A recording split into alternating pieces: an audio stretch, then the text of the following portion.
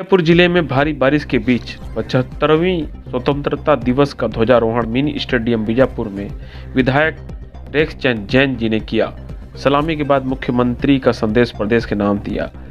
यहाँ पर स्वतंत्रता दिवस मनाते हुए सभी अधिकारी कर्मचारी रहे मौजूद, सभी कांग्रेसी कार्यकर्ता रहे मौजूद। वहीं बच्चों ने भी उत्साह दिखाते हुए तीन तीन घंटे तक भारी बारिश में भींगते हुए भी परेड किया। सभी तर्क न्यूज़, सच की बात, बीजापुर ज़िले से सूरज विश्वकर्मा की खास पेशकश। हो रहा है, सभी अपने स्थानों पर खड़े हो जाएँगे। के सम्मान में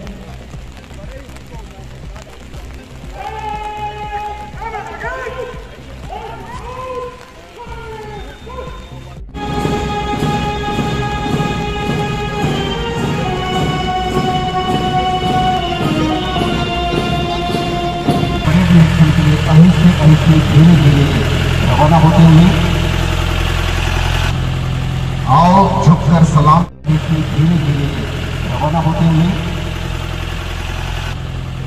आओ झुककर सलाम